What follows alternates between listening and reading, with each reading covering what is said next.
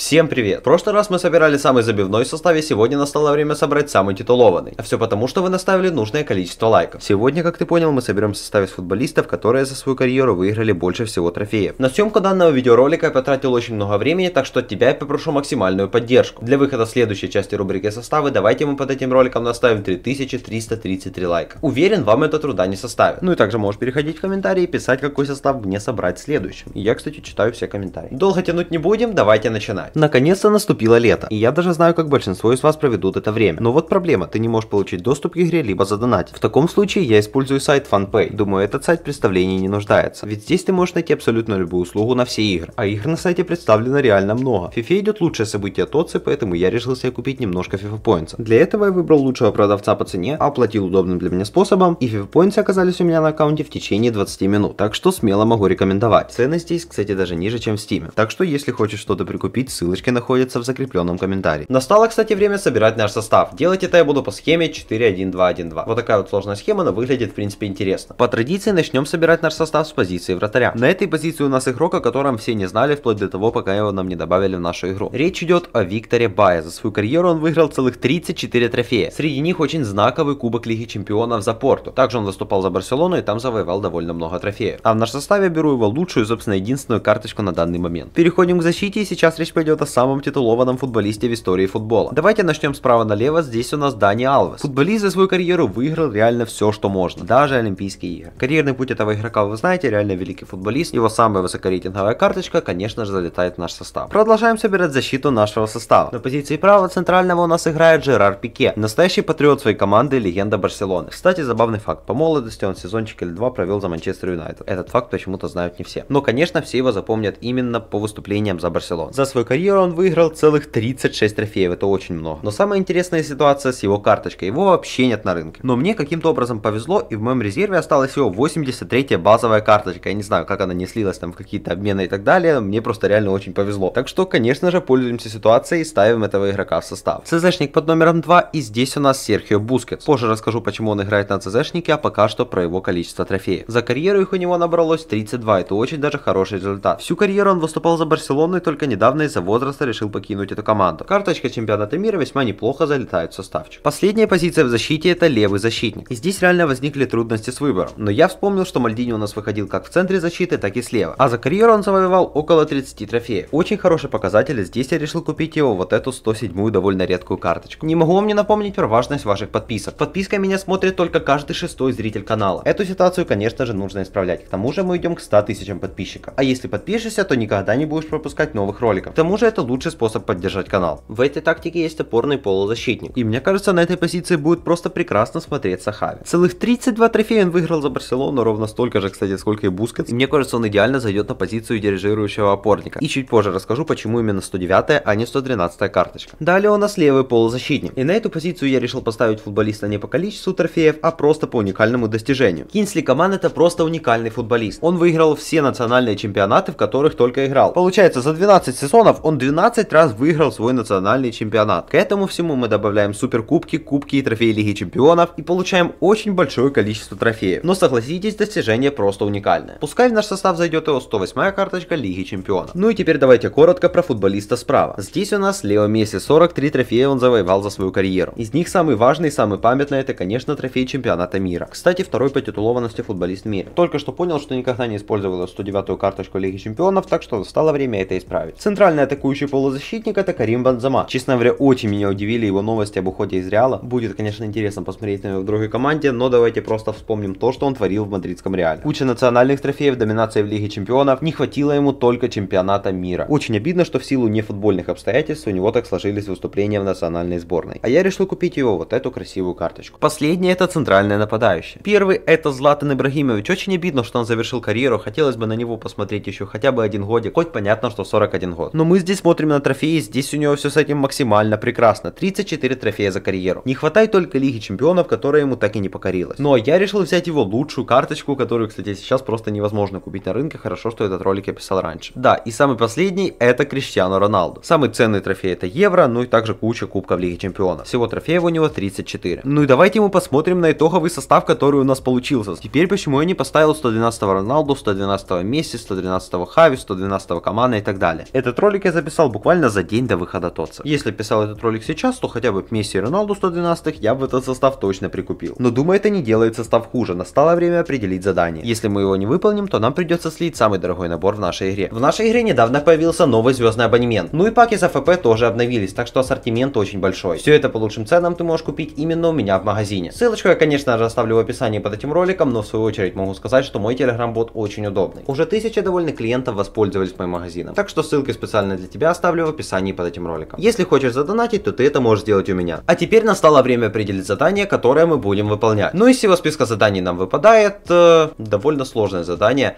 не проиграть. Ну что ж, мы попробуем в любом случае, думаю, получится довольно интересно. У нашего первого соперника на сегодня довольно странная фанборка Реала. Мой первый момент получился довольно смешной. Ибрагимович просто идеально сыграл, но Бензема почему-то не пригнулся. Если присмотреться, то именно это помешало мне забить. Но после этого уже следует момент, в котором мне реально повезло. Хоть соперник заработал угловой и уже забил с него. Мне нужно было отыгрываться, и для этого я создал весьма неплохой момент. Вообще непонятно, что там произошло с Ибрагимовичем, но самое главное, что мяч получил Роналду, и он забил. А сразу после этого у меня получился еще один хороший хороший момент. Вот так вот сходу и не скажешь, что это вообще не прокачанная 105 карточка. Все равно Криштиану Роналду играет очень хорошо, и он выводит нашу команду вперед. А еще несколькими минутами позже мы зарабатываем штрафной. Штрафной у нас пробивает Хави, и он пробил очень странно, но самое главное, что мяч залетел в ворота, пусть и с рикошетом от вратаря. Вообще, почему-то я очень редко забиваю со штрафных в равной игре, так что я очень рад. Ну и что ж, настало время добивать соперника, в частности Криштиану Роналду оформляет уже свой третий гол, хэт-трик он забивает в этом матче. Реально очень крутой перформанс португальца, именно он нам добывает разгромную победу. Состав соперника номер два Похоже, сегодня нам реально с ними везет. Я рисковал пропустить первым, но Кейн распорядился своим моментом плохо. Хоть уже буквально через 2 минуты, спустя несколько рикошетов, мяч залетает в мои ворота. Но мне реально повезло отыграться, причем произошло это довольно странно. Бензема подловил соперника на ошибке, сделал отличный финт и пробил. Его сбили в подкате, но мяч каким-то образом все-таки оказался в воротах. Хоть если бы мяч не оказался в воротах, уверен, здесь было пенальти. Второй тайм начинается для меня буквально критично. Я пропускаю от Харри Кейна. К тому же мои моменты, к сожалению, не реализовывались. И только после 80 минуты я нашел себе силы пойти в атаку. Точнее, опять Бензема подловил соперника на ошибке. Но опять же, этот гол вытекал из сценария игры, потому что в основном владел мячом я. И уже буквально через несколько секунд я перехватываю мяч, Кинсли команду устремляется в атаку, и в этом моменте давайте просто признаем, что мне повезло. Я переволновался и откровенно не должен был забивать. Но я это сделал и победил со счетом 3-2. Ну и последний матч, который мне тоже нужно выигрывать. Вы учили начинать меня матчи с защитной тактики, и это в принципе работает. Футболисты выдыхаются меньше, а какие-то моменты возле ворот соперника тоже получается создавать. Ну и естественно защищаться намного легче. Поскольку в твоей штрафной довольно довольно много защитников, соперник пытается атаковать через фланги, и это, естественно, делает сложнее. Но это так, минутка теоретика закончилась, теперь давайте переходим к интересным моментам. А таких моментов в этом матче возникало довольно много. Как у меня, так и, в принципе, соперник что-то тоже создавал. Здесь очень обидно, что Ибра не забил, было бы очень красиво. Я понимал, что дело пахнет жареным, и мне 100% нужно забивать. Поэтому поставил атаку и пропустил. Я пробовал атаковать, но, к сожалению, время играло против меня. Ибрагимович выбежал в очень сильно опасную атаку и, к счастью, забил. У него было очень много моментов. В каких-то моментах ему не везло. Где-то случались другие обстоятельства, которые ему мешали забить, но он все же отличился в этом матче. Что ж, я очень рад, что мы оставляем этот набор, и я реально надеюсь, что нам отсюда выпадет что-то очень даже неплохое. Смотрим на анимашку, это у нас Франция.